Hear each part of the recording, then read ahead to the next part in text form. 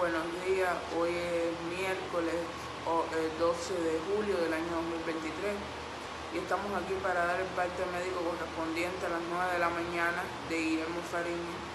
el cual se encuentra con una presión arterial de 98,81, una temperatura de 36 grados centígrados,